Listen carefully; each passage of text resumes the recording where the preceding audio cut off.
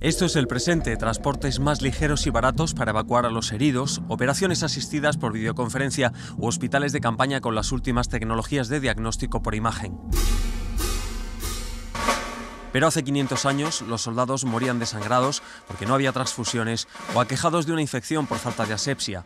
Los conflictos armados han traído muertes y dolor, pero también han forzado avances en medicina que luego han pasado a la sociedad civil. Entre cañonazos y disparos de fusil, la ciencia se abre camino.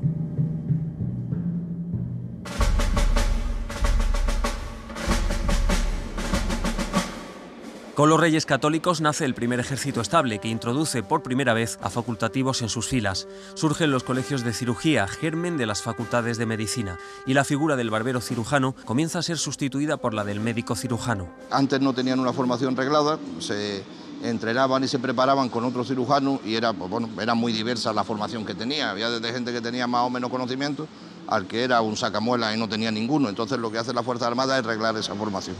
El padre de la anatomía moderna, Andrés Besalio, sirve como médico en los ejércitos de Carlos V, profundizando en el conocimiento científico del cuerpo humano.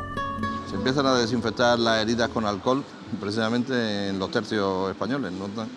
No, sé, sería empírico, notarían que cuando caía aguardiente o alcohol las heridas se infectaban menos. Entonces ya inventaron un alcohol que no llevaba el resto de productos que lleva el aguardiente para que sea bebible. Quitaron todo eso y empleaban el alcohol, que le llamaban alcohol limpio y era, mm, lo usaban para desinfectar las heridas de manera empírica. Ya en la época de la Ilustración, en 1803, es la sanidad militar española la que impulsa la expedición filantrópica de la vacuna de la viruela.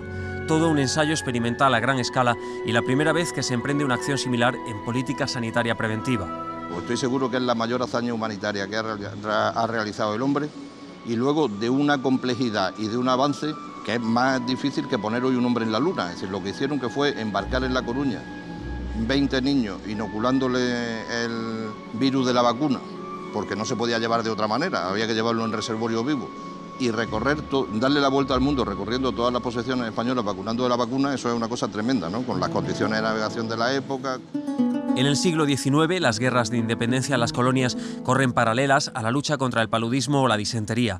Antes de ser premio Nobel, Santiago Ramón y Cajal participa como médico militar en la guerra de Cuba cae enfermo y además tremendamente enfermo y tremendamente grave, tan grave que en un avance del enemigo lo tienen que dejar allí, se queda él y se queda en el botiquín y con la gente que podía disparar y él paran el avance del enemigo.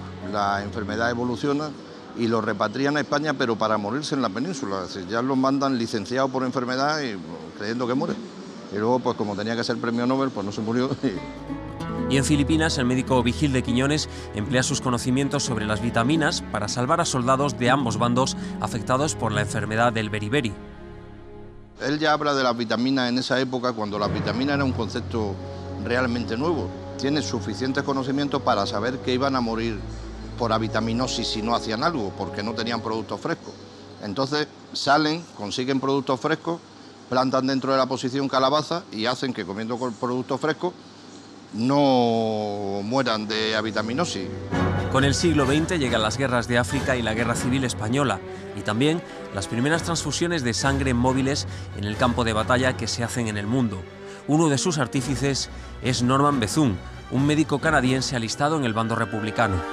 Se intentó incluso transfundir sangre de cadáver, un médico que vino con la brigada internacional que se llamaba Etune, pero con el mismo resultado, morían todos hasta que este hombre pues, se le ocurrió que era por un problema de degradación de la sangre por el transporte y la temperatura. Y entonces llevó al frente la sangre en camiones de pescado. Es decir, los camiones refrigerados que venían de pescado se le ocurrió y vio que no se morían. Entonces ya a partir de ahí desarrolló todo el procedimiento para crear un servicio de transfusión en, en zona de combate. Fidel Pajés descubre la anestesia epidural, tan extendida hoy en partos e intervenciones quirúrgicas. La anestesia epidural la llama anestesia metamérica, lo mismo, solo que con otro nombre, y la estudia la desarrolla y la describe como técnica de anestesia de guerra, porque era, era o es una anestesia muy segura, no necesita, no produce depresión respiratoria, no produce caída de tensión arterial. La atención médica en zonas de combate o de difícil acceso es uno de los grandes retos. Ahí está el médico militar Mariano Gómez Ulla, con sus hospitales transportables. Diseña un hospital que se movía sobre mulo, que se, lo llama hospital de campaña que se emplea en toda la guerra de África, incluso en la guerra civil española. Es un hombre muy habilidoso quirúrgicamente y una de las características de la cirugía militar es que tiene que ser muy rápida, es decir, hay que dominar mucho la técnica porque son gente gravemente heridos y con poco tiempo para atenderlo. En las últimas décadas, la sanidad militar española ha estado presente en misiones humanitarias y de interposición en países como Bosnia, Líbano, Haití o Afganistán. Es el momento de las nuevas tecnologías de la comunicación que permiten hacer operaciones asistidas a distancia. Un cirujano militar tiene que salvar la vida fundamentalmente, entonces debe ser capaz de abrir el cráneo, de abrir el tórax y de abrir el abdomen para parar una hemorragia y tratar las heridas de los miembros que puedan producir la muerte pero para cosas concretas específicas cuenta con un sistema remoto de asesoramiento en el cual hay un especialista en oftalmología un especialista en otorrino un especialista en cirugía vascular puede darle indicaciones para mejorar su actuación. Eso que posiblemente sea uno de los elementos del futuro es un autogiro que es casi con las mismas prestaciones de un helicóptero, pero 10 veces más barato.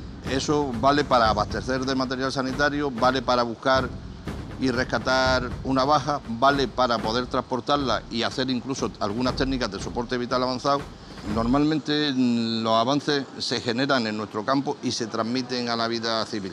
Los sistemas de emergencia lo que aplican son procedimientos de sanidad militar y los primeros que enseñan a manejar esos procedimientos son militares. Eso hace que ahora mismo en Madrid el 56% de los muertos que se producían por accidentes de tráfico no se produzcan.